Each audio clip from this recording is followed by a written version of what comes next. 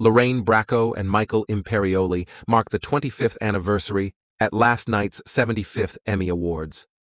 Lorraine choked up as she said, Speaking for Michael, myself, and the entire crew, it was an honor working with The Sopranos creator David Chase, and of course the great James Gandolfini. She received a thunderous applause. They were standing in a replica of the therapist office with a touching picture of JG on the table.